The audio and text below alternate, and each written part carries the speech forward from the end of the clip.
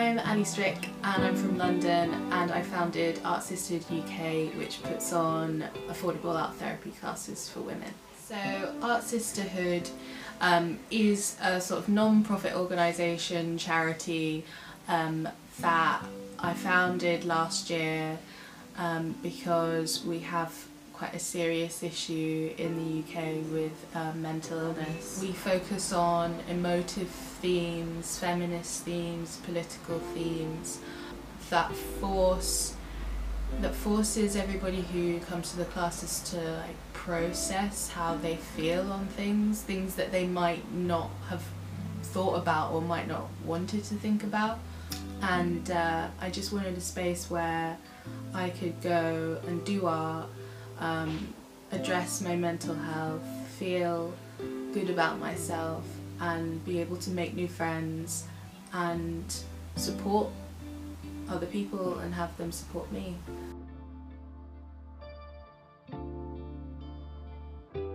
Throughout my life I've been oppressed by men and I feel like the patriarchy still really exists in the world and I feel like um, the oppression that women feel um, has a massive effect on on their mental health and has on my mental health. If, if men didn't exist I wouldn't have mental health issues.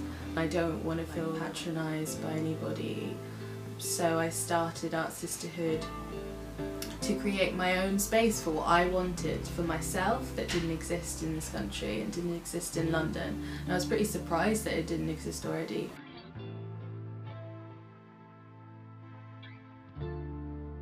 Start the classes off um, by welcoming everybody in. Um, I've got music on and we encourage everybody to go and get a drink so they can sort of like um, just feel comfortable and um, start conversations with people and then I will introduce the class and I'll explain who I am, point out the volunteers and sort of explain that um, it's important that everybody recognises that the work they do today doesn't have to be a masterpiece, it doesn't have to be amazing, there's no right or wrong, it's just about expressing yourself. And then we have three to four large pieces around the around the room. Some are on the wall, some are on the floor. And each each piece has a theme, like an emotive theme.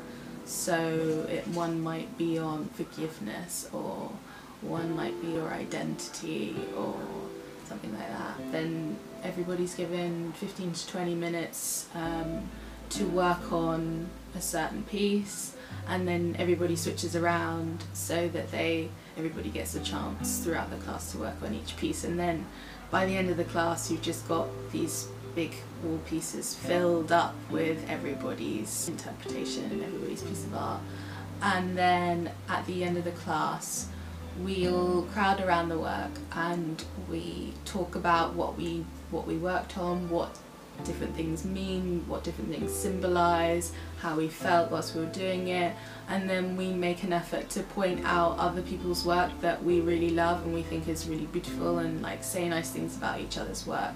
And then um, give the chance to anybody who wants to say anything about how they were feeling or anything that happened to them in the class. And it's like a really really nice feeling of having this like group therapy discussion. Like people always um, end up sort of talking like sort of expressing themselves. And then whilst they're talking they're like realizing things as they're saying it. And they're like oh like I didn't even know I felt that about myself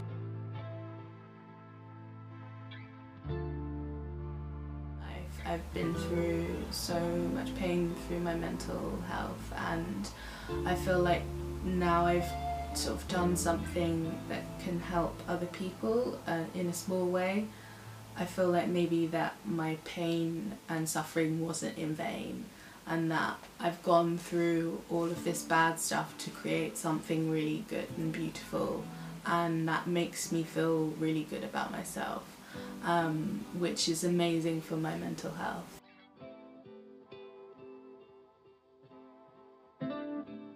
I've discovered that art therapy is just a really incredible way of of helping people with their mental health. We've had people come in like crying and then at the end of the class they're just laughing and dancing around and really happy and it's just it's just amazing to see how art can bring people together and heal people.